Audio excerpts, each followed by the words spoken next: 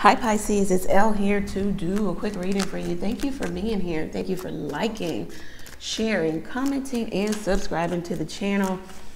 Um, let's get into it. Thank you, God, for blessing Pisces with a clear, concise message from you. So some of you are checking out of some cycle, going round and around with a particular person.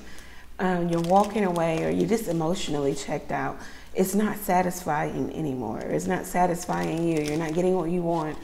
Um, it's an act of self-respect, of leaving, of uh, walking away, uh, finishing something up and then walking away. A lease, uh, an agreement, a mortgage, a business. I don't know. Finishing something up and then moving on. Um, going on to something that hopefully fulfills you, where you get absolute fulfillment. Let's see what's happening for Pisces and money. We do money and love, money. Okay, so Five of Cups, you could miss out on an opportunity or there's loss, loss of job. Um, you miss out on a sale. Um, you could be in a competitive market. Um, this also is um, you needing to listen to your inner voice when it tells you to move or make a move, you need to do so. This could be you pining over missing out on that sale or that opportunity. Um, this could even be you having to take days off of work because you were sick or out or you needed to get some things in order. This could be job loss. We've got the Knight of Cups coming in. No, the Knight of uh, Wands. So opportunity then presents itself to you again. Um, you need to go with it. You need to finish what you start also, especially if you are um, a budding entrepreneur. If you're an entrepreneur, if you're trying to get something off the ground, you need to go with it.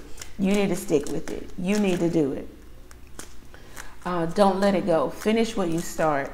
Put yourself out there. Be charismatic, outgoing. Um, shake hands. Tell everybody what you do. Um, what else do we have going on here? Attract the energy that you want, the vibration that you want to happen. What else? Let's see. Some of you you stop doing something for work. Let's see. Okay, so the moon card, feminine energy with seven of wands. So it's like this is sex appeal or sexy or doing something in secret or at night or under the cover of. This could even read as like exotic dancer. Um, this can read as like you know, OnlyFans or something of that nature where you do something is under the cover of. Maybe you even have a costume or um, you keep boundaries up or um, you're standing your ground on this. Somebody wanted you to stop this or stop what you were doing, but you're standing your ground and you're going to continue doing whatever it is you do.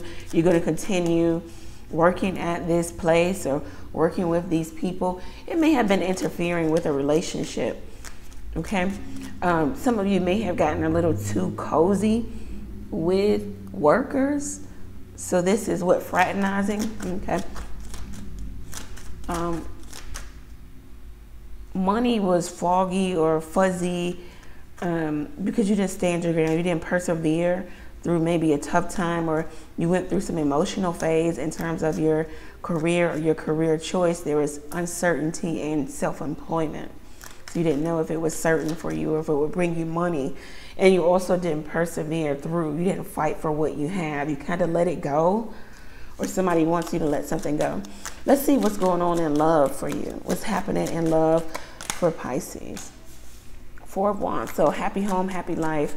Um, it's going well. You could be with a fire sign, Aries, Sagittarius, Leo. Um, maybe reconciliation or reunion is happening. You're going to come back together, new home, new house, just new digs all together or remodeling, redecorating, or you're going to redo something in the relationship. Um, maybe you guys are getting out of a cycle. Let's see. Um, that's you, the hangman. Maybe you're coming out of a cycle. Maybe you're coming out of no energy being put into the relationship. You're going to realize why you haven't had what you really want. And you're going to start to maybe engage. You're going to let go of the thoughts of the past or the ex. Or you're going to let go of an extramarital relationship or extra relationship or some of you are going to let go of somebody who's keeping you a secret, a secret affair, secret love, hanging around, keeping you hanging around, waiting. What's going on in love? Uh, two of Cups, yeah. So it was like some of you, you're in a relationship. It's, you're going to choose to redecorate it, remodel it, redo something. You're going to just, you know, kind of usher in some newness here. Um, love, this could even be eloping, you know, just running off and getting married. Um, after a period of stagnancy, it's going to be a coming back together. You're going to heal the severed connection. Somebody is now wanting the one on one relationship. And then for some of you, um, it's an energy of um, you may have cut someone off because they were keeping you a secret, keeping things secret, not telling you the truth, had you hanging around, had you as a, um, maybe an option. They had a circle of people, women that they dealt with. Um, they did have a connection with you and they want to come back to you and start that connection up. They want you to forgive all, let bygones be bygones, move on, you know, um, from this. Let's get you some advice. Advice for Pisces. Advice for Pisces. We got a lot of new starts, twos, fours, um, sevens. We got eh, trying to maintain something. Yeah, and then we got new starts. And, and we also have ending. All right, somebody wants you to end something or let go of something. Listen. Yeah, communicate clearly how you feel, what you want, what you're to stand your ground on um, there will be peaceful resolution to a situation where there was, you know, argumentative or there was war, you were at war with yourself or with other people.